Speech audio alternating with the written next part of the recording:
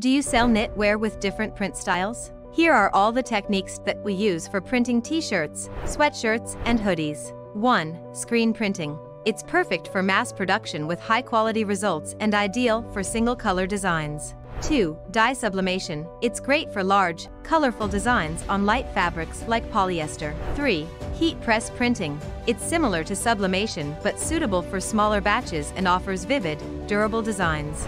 4. Spray painting. It's a manual, artistic option suitable for unique designs, but less durable. 5. Glow in the dark.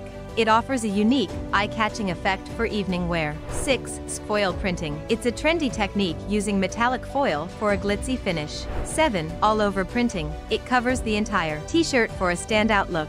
8. If direct to garment, DTG it's excellent for small quantities and complex designs. 9. Vinyl cutting. It's perfect for small designs in mass production, offers vibrant colors but reduces fabric flexibility. There is another technique that's famous for giving a unique touch to clothes, and it's not even printing? Yes, I'm talking about embroidery. Embroidery adds a luxurious touch and is great for branding.